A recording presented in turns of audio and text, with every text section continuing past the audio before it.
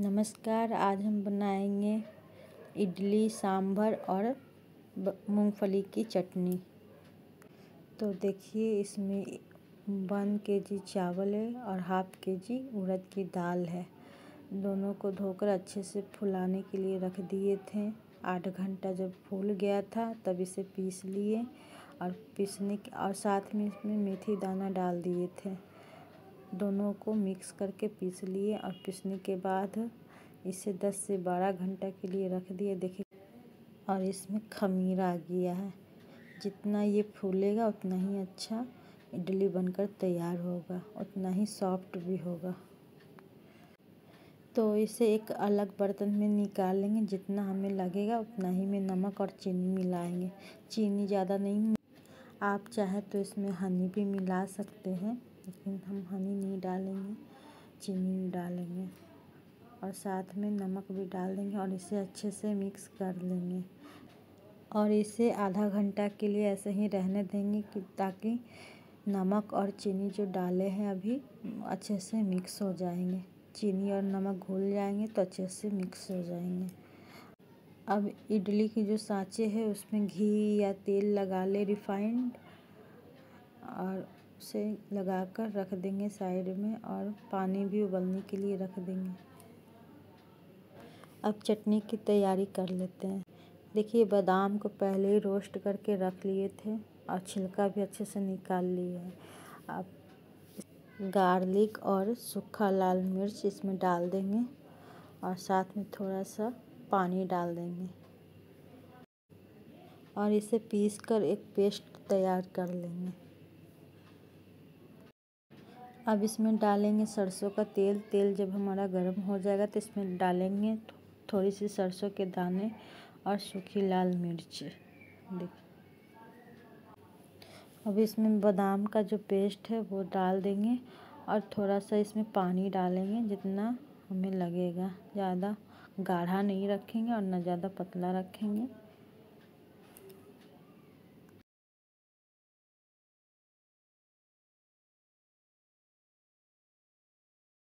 और इसे अच्छे से चलाएँगे।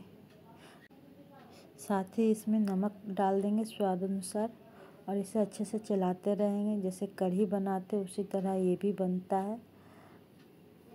देखिए। जब ये अच्छे से उबल जाएगा तो गैस को कर देंगे ऑफ़।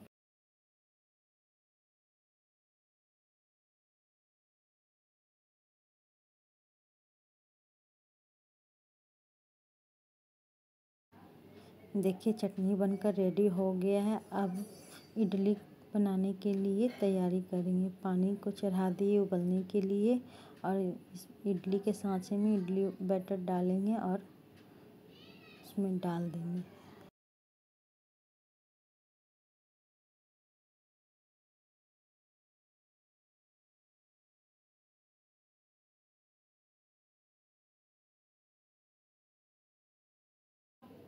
ढक्कन को हटाएँगे ध्यान से, नहीं तो वरना हाथ में भाप इसका लग जाता है। एक एक करके सारे सांचे इसमें ध्यान से लगा देंगे और ढक कर इसे पंद्रह से बीस मिनट तक इसे स्टीम होने देंगे। और बीच बीच में इसे चेक कर लेंगे।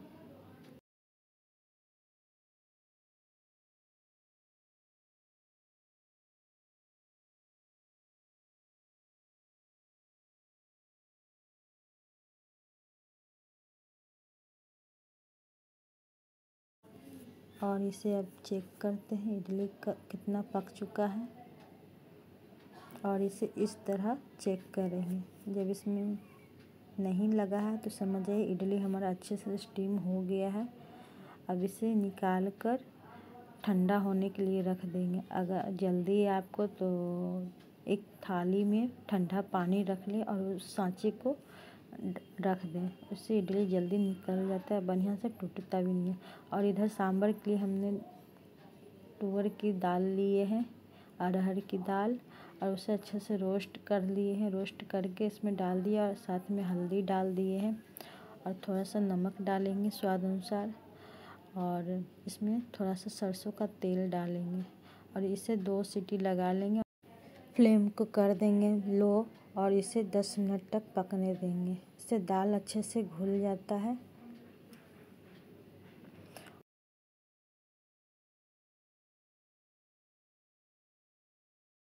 देखिए, दाल पक चुका है। अब इसे चेक करते हैं। इसे अच्छे से मिलाएँगे। देखिए देखिए, दाल कितना बढ़िया घुल गया है। देखिए, कितना अच्छा घुल गया है।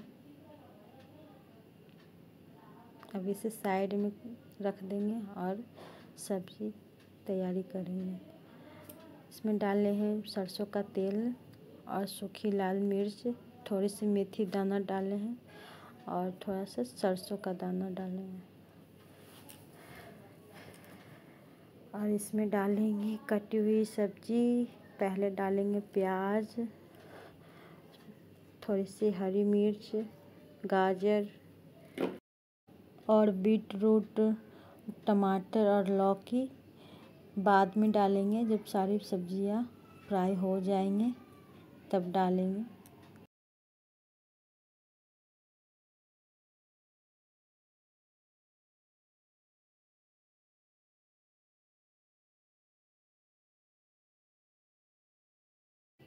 देखिए, सब्ज़ी फ्राई हल्का हो चुका है, इसे ज़्यादा नहीं करना। इसमें डालेंगे जिंजर, गार्लिक का पेस्ट और डालेंगे काली मिर्च और जीरा पाउडर। साथ में डालेंगे सांभर मसाला थोड़ी सी और इसमें थोड़ा सा पानी डाल के इसे अच्छे से चलाएँगे ताकि मसाला जले नहीं। जब ये मसाला अच्छे से भुन जाएँगे, तब इसमें डालेंगे लौकी बीट रूट और टमाटर ऊपर से।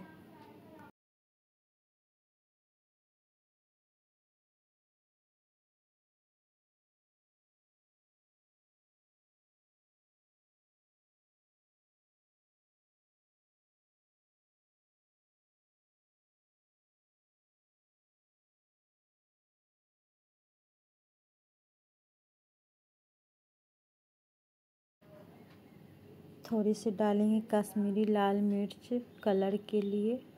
ज़्यादा नहीं डालेंगे, थोड़ी सी डालेंगे।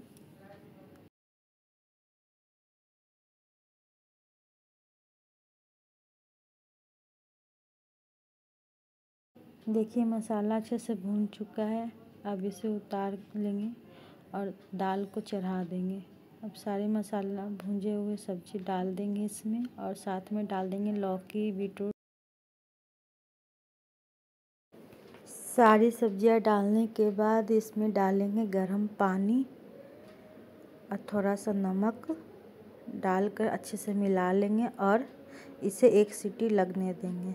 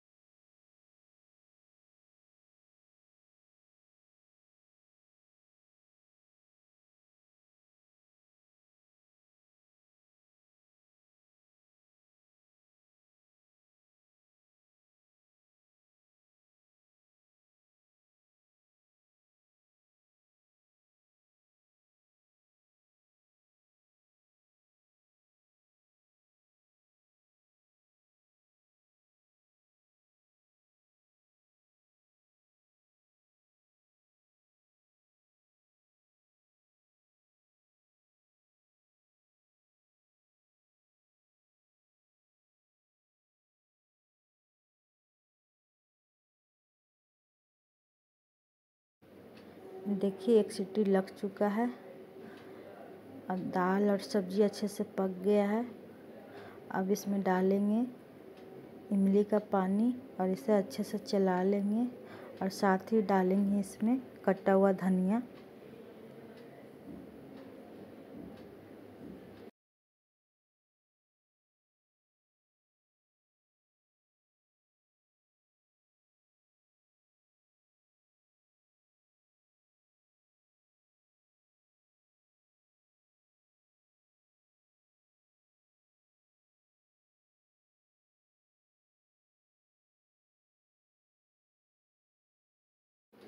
सांभर बनकर रेडी हो गया है। अब इसमें कुछ नहीं करना है।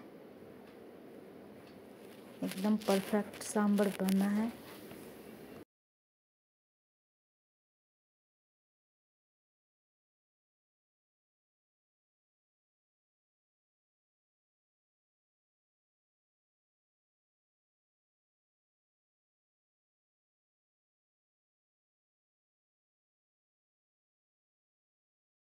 देखिए, इधर इडली भी ठंडा हो गया है। अब इसे अच्छे से निकाल लेंगे चम्मच की मदद से। एक एक करके सारे इडली निकाल लेंगे। इतना सॉफ्ट बना है। अगर हमारी रेसिपी अच्छी लगी हो तो प्लीज़ हमें सब्सक्राइब कीजिएगा और लाइक, शेयर कीजिएगा और कमेंट करके हमें ज़रूर बताइएगा कि हमारी रेसिपी कैसी लगी। फिर मिलेंगे नेक्स्ट ब्लॉग में। एक नई रेसिपी के साथ।